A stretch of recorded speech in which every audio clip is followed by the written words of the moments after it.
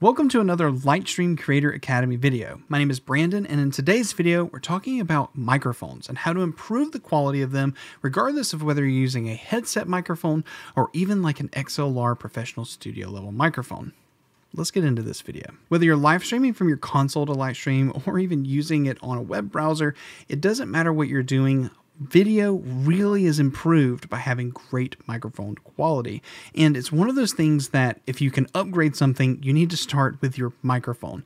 But today we're going to talk about mic etiquette and how to improve your sound with what you have to make sure that your viewers get the best experience of your content. To help improve that, we're going to be implementing two simple things. Number one is proper microphone etiquette, and number two is actually the gain or actually the sensitivity of how well your microphone picks up the sound that you're giving it. So let's focus on microphone etiquette, which is number one. To give you a good picture of what good mic etiquette is, I'm going to show you that by turning sideways and showing you how I would position my microphone, regardless of whatever it is, headset or not. I'll show you that with a headset in a moment. First, if you are using a microphone like this, one of the first things you don't want to do is number one, to talk directly into the capsule. Now, most microphones have a kind of a filter or something over the top of it. Sometimes it's built on the inside of the actual microphone, and a lot of headsets do on the inside or they have a felt on the outside. For this one, in this case, you can actually see that it's something I can remove, and you can see the sensor of the diaphragm right here that it's actually picking up the sound. And if I'm talking directly into it, you're going to get all the pa pa pa pa pa plosives and all of those moments that are going to be able to not create great sound. That's why one of these are great to be able to remove any of those plosives or those big pa pa pa pa, the airy feel that comes from the sound. By placing this on there, it's going to knock down any of the air that directly hits it. And also, I'm going to mitigate it by instead of speaking directly into that sensor, I'm going to talk over the top of what that sensor would be. So right here is that sensor, right? I'm going to be talking directly over the top. Now I keep saying sensor, and yes, it's a diaphragm, and some people might correct, but the truth is, I want you to think of it about sensitivity here's where it is. And if I'm talking over it, all of that wind, the air that's coming out of my mouth is crossing over the top of the microphone rather than going directly into that capsule and picking up all of that extra noise and sound and things that we don't want.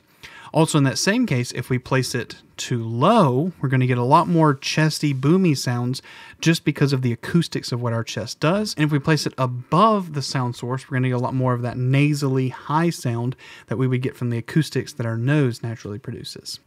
now, yes, I have this microphone on an arm, so I can kind of position it where I would like it and it move with me. But what if you have a microphone that's just kind of on its own little stand that just sits on the table? Well, the best way to do it is to always position it as close to the source as possible and make sure you aim the actual diaphragm or sensor at the source. And I'll show you that with this one specifically. This is an Elgato microphone, and you can see that there's the actual diaphragm, and it's aimed up directly at me. And so here's that Elgato microphone, and I have it as close or far up on the table as I can, aiming directly up at me with that diaphragm aiming at my face so that I can have as much sound as close as possible to that microphone. Staying on mic etiquette, let's actually talk about placement of that microphone. A lot of people will position the microphone really far from the source. So here's where it is. It's maybe like two, three inches from the end of my mouth to this microphone to be able to achieve this kind of sound. And now I've pushed that microphone out of frame and you can't see it anymore, but it is a good two feet away from me. And you can see how much this microphone has changed in its sound yes, you don't see the microphone in the frame, but is this an attractive sound? I don't think so. And when it comes to microphones, you want to be able to bring that up and get it as close to the source of sound as possible. Now, staying on that same thread, there are microphones that are called condenser microphones. This one's dynamic, this one's condenser, and these I actually genuinely recommend. No, what you're listening to now is actually the headset microphone of this headset, and we're going to talk about the placement specifically for a microphone like this. A lot of these have an adjustable piece where you can move it up and down, in and out, even forward and back, depending on your model. But let's talk about if we move it too close.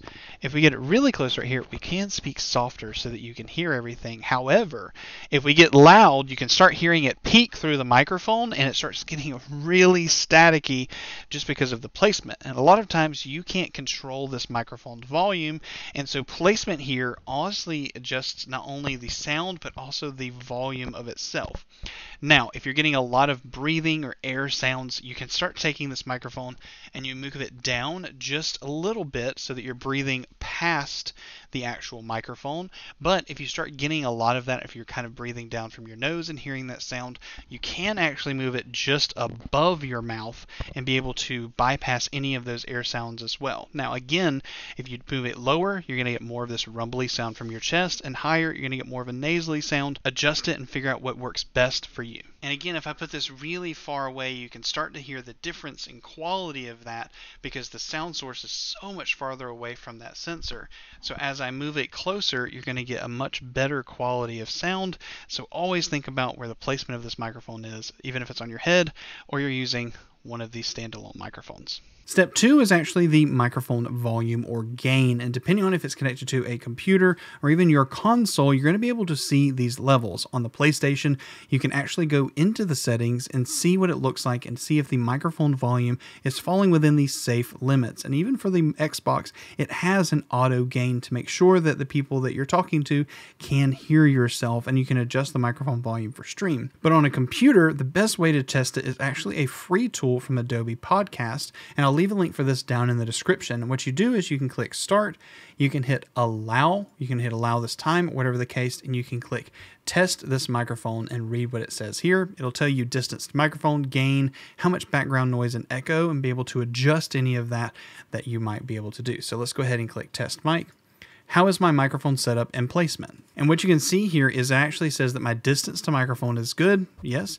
there's not a lot of background noise or echo, but my gain is too high. So I'm actually going to turn my gain down, which you can do inside Windows or Mac settings. I actually have a control knob for it in front of me. And I'm going to click test again and see what happens. How is my microphone setup and placement? And there it is, adjusted my microphone gain using my computer, and now it says that my voice is crisp and clear. This is a really good base to get started with. However, make sure you're listening to recordings of what you're doing and adjusting that volume up and down depending on what you need. Thank you so much for watching this video, and click on any of the videos on screen now to be able to learn more about Lightstream Studio. Thank you, and we'll see you over there.